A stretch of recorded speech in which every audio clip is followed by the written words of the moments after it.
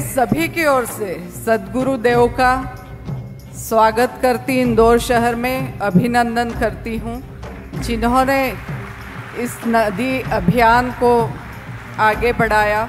सदगुरु के सामने शपथ लें कि हम पेड़ लगाएँगे नदी बचाएँगे पर्यावरण का संरक्षण करेंगे।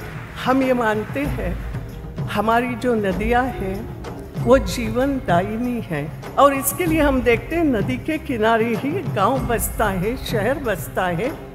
लेकिन केवल बसता नहीं है, हमारे जितने भी साधु, संत, योगी, सब लोग नदी के किनारे ही तपश्चर्या करते हैं।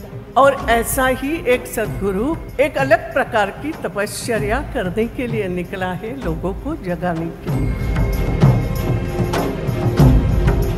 Environment and concerns of environment are not for the sitting rooms of the elite anymore. It is everybody's business because it's no more a fanciful engagement, it is a fight for survival. If we want a solution, we need a national policy to treat our rivers as a national treasure, not as individual private property. As right now, everybody is doing whatever they feel like according to their whims.